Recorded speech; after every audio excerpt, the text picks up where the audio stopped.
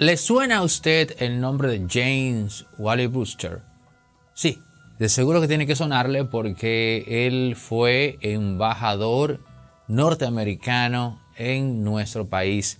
Es una persona que se puede creer que él ama República Dominicana porque está yendo y viniendo constantemente. Es una persona de trato cálido y afable. Eh, recuerdo que en una ocasión coincidí con él en una barbería o algo así. Es un hombre de, digamos, de trato muy cordial. Señores, Julio Martínez Pozo da la primicia y le damos el crédito. Cuando la escuchamos, nos quedamos de una sola pieza y a simple vista se constituye en un gran error, una gran pifia para República Dominicana. Pero justo antes de, quiero recordarte que la farmacia Medicar GBC tiene los medicamentos de hipertensión y diabetes a un 30% de descuento. Farmacia Medicar GBC, la de nosotros los dominicanos. Señores, James Wally Brewster será el lobista oficial de Haití ante Estados Unidos. Para quienes no estén familiarizados con el término lobista, lobista es un profesional de las relaciones de negocios y de poder que se encarga por hacer conexiones y defender los intereses, por ejemplo, de una empresa en el Congreso norteamericano o en este caso de un gobierno ante, por ejemplo, el Senado de los Estados Unidos de Norteamérica. A simple vista, es un fallo del gobierno de Luis Abinader que a nadie en el palacio se le ocurriese la idea pertinente de contratar a James Wally Brewster como, oigan, como que, bueno, como lobista de República Dominicana. Porque eso es precisamente lo que necesitamos. Lobismo en el Congreso, ya lo dijo incluso José Luis Malcún en una entrevista que le concedió al doctor Julio Jacín, en donde incluso reveló que si a última hora República Dominicana fue introducida al acuerdo de, libre comercio, donde estaba también México, era que estaba ahí, entre otros países, se debió a un trabajo de lobismo. Porque en Estados Unidos eso no está penalizado. En Estados Unidos eso no es mal visto. Incluso hay una expresión que se llama la política de puertas giratorias. ¿Sabe usted lo que es la política de puertas giratorias? Bueno, eso es cuando una persona que ocupa una posición importantísima en una empresa tipo Apple, Microsoft o demás, va a trabajar al gobierno. En la práctica, lo que termina ocurriendo es que esa persona que va de esa empresa al gobierno termina propiciando algún tipo de acercamiento favorable del gobierno de cara a esa empresa. Pero también la política de puerta giratoria hace que sea un funcionario del gobierno el que vaya a trabajar en una importantísima empresa. Para empresas como Amazon, como Apple, como Google y otras, tener como empleado a una persona que ya trabajó en el gobierno norteamericano es de mucha valía. Por eso es que usted ve que a contrario de como se da en República Dominicana, en donde es el gobierno que paga los grandes salarios, en Estados Unidos son las empresas privadas que pagan los grandes salarios, sobre todo cuando se trata de una persona que ya ha trabajado en el gobierno. Porque esa persona que viene de la Casa Blanca a esa empresa viene con el conocimiento de cómo opera, cómo maneja o se maneja la burocracia del gobierno y eso para esas grandes empresas vale oro. Entonces, el lobista es una persona que tiene excelentes relaciones humanas. Cuando digo excelentes relaciones humanas me refiero al tipo de persona con el cual está relacionado.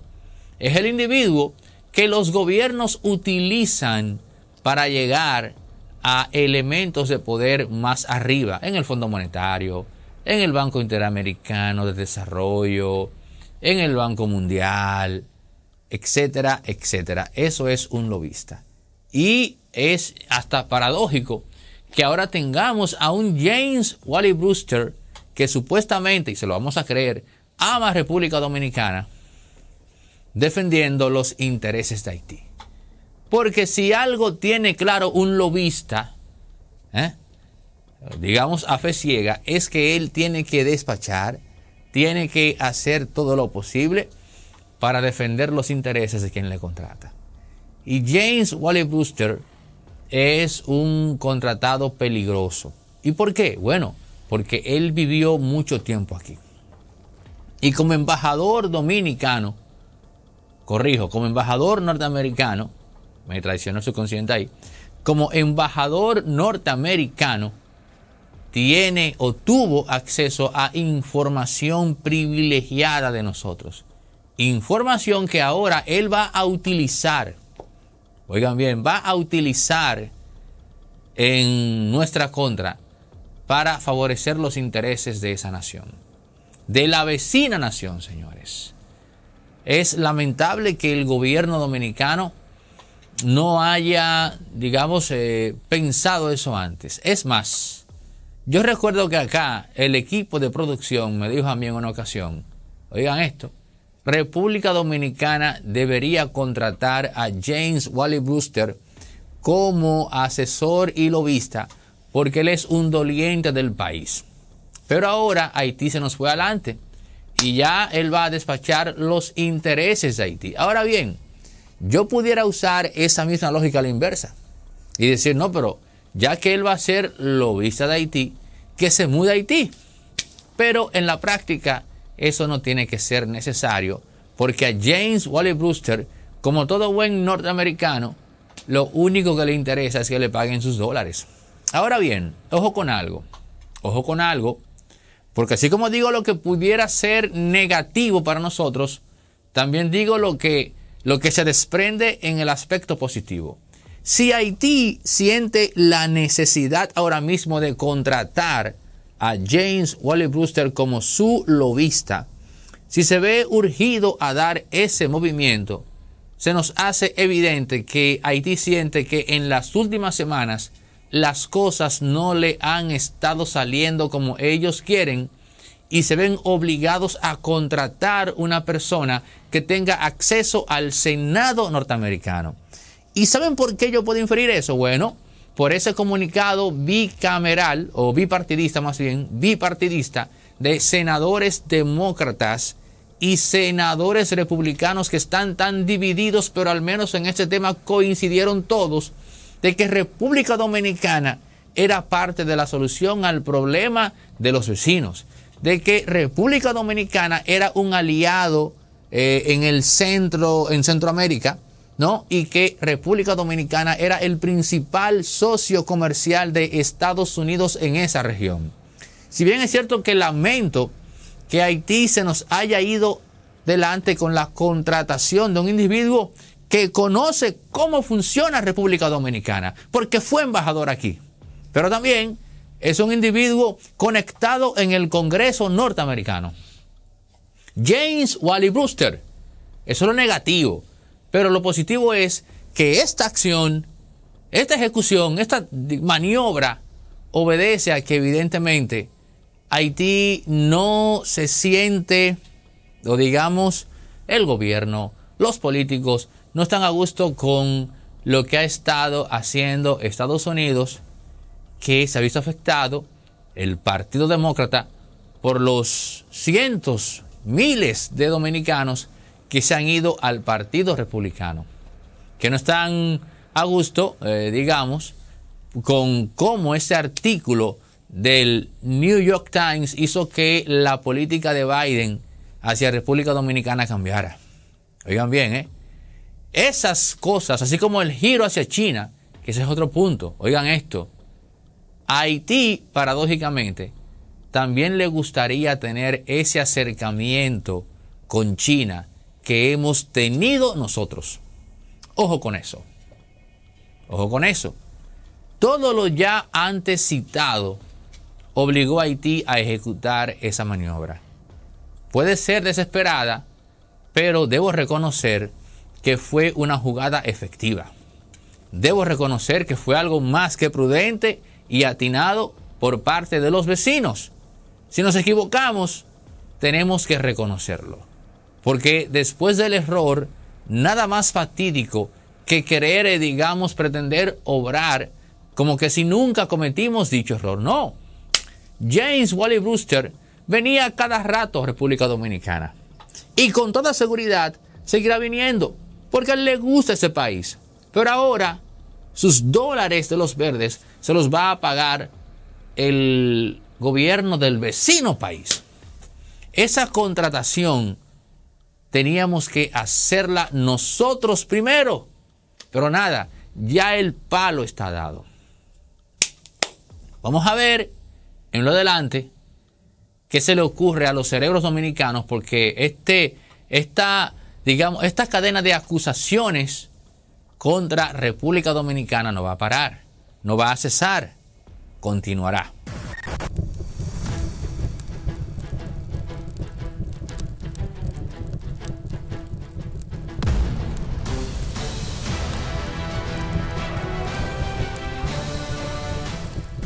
a toda la gente que está, todos los dominicanos más bien que están llegando desde Estados Unidos a pasar las navidades en su país, les tengo una exhortación para que le saquen el máximo de placer a esa visita. Llama o escribe ahora mismo a Viaja Tours, expertos en confeccionar momentos agradables para ti, porque tienen unos paquetes, unos combos para hacer posible que tu estadía en tu querida República Dominicana sea de lo mejor. Viaja Tours, expertos en confeccionar momentos agradables para ti.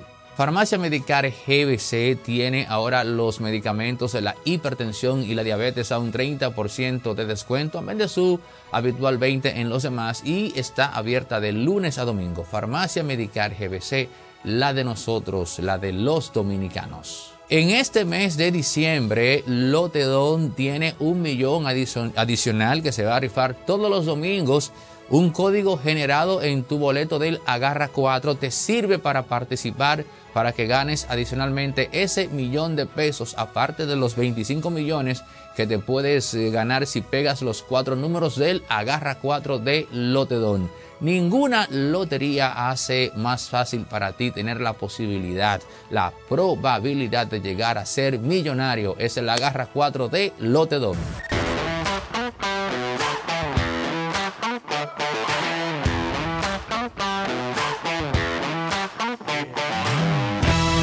El Agarra 4 de Lotedon, señores, eh, trae en esta Navidad un millón adicional amén de los 25 millones que te da este Agarra 4, porque ahora en el ticket de ese Agarra 4 tienes un código que te permite participar para ganar un millón de pesos. Es el Agarra 4 de Lotedón que también te trae el sueño de hoy. Soñé con unas declaraciones que ustedes vieron, pero en mi sueño me fui a la reacción interna a nivel político en el Partido Revolucionario Moderno. Señores, Nene Cabrera nunca debió decir, me voy, puse mi renuncia, pero me quedo en el gobierno. Porque esa frase, señores, es el tipo de expresiones que causan malestar en un presidente. No importa que tú y el mandatario tengan la más estupenda de las relaciones. Porque en ese sueño yo vi como gente que pretendía hacerle daño a Nene Cabrera en función de la relación que éste tiene con el presidente, que es una relación muy buena, fue con el chisme. Y en el sueño yo vi cómo iban a abordar al presidente.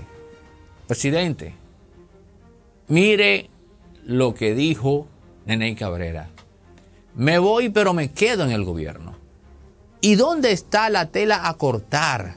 ¿No? Para darle tijera a Nene. Presidente, y esto lo vi en el sueño.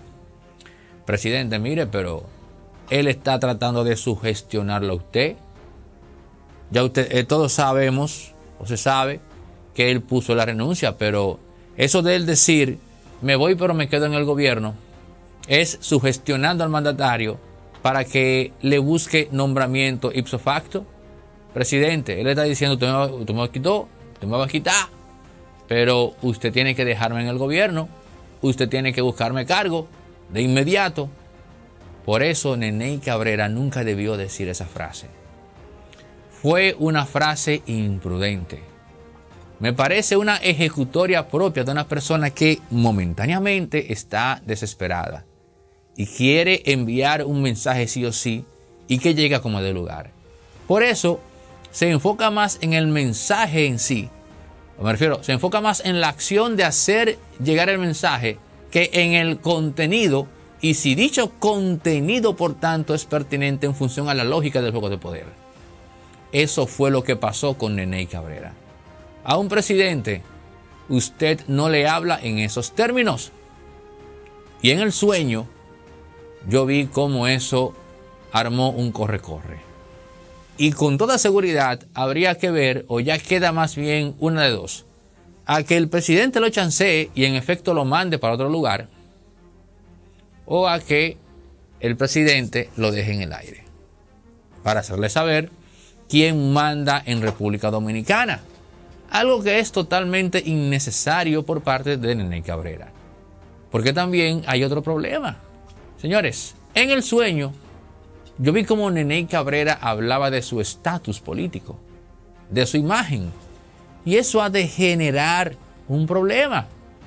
Porque entonces, tú no solo estás pidiendo que te dejen en el gobierno, que te busquen cargo, tú estás también pidiendo que te coloquen en un cargo importante de cara a tu perfil.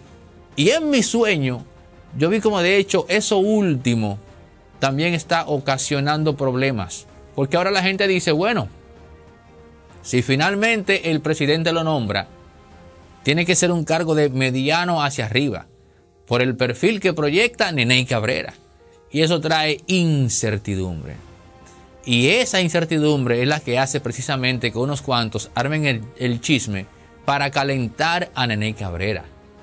Tal cual lo vi en mi sueño cuando entré en un estado de, digamos, vigilia profunda, producción, ¿no?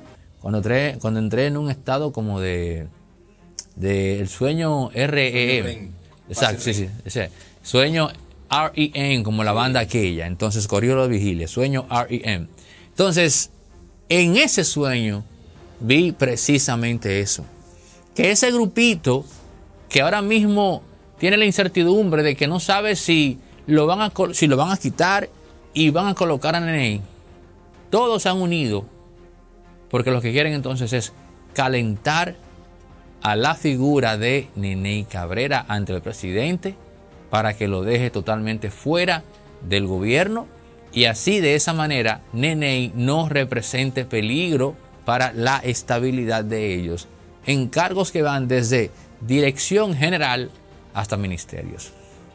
Escuchen y reflexionen, porque así es el juego de la política en República Dominicana. Les recuerdo que Tuve un sueño es un segmento que llega a ustedes gracias a Lotedón y su Agarra 4 Nadie te hace millonario más fácil y más rápido que Lotedón pegando solo cuatro números.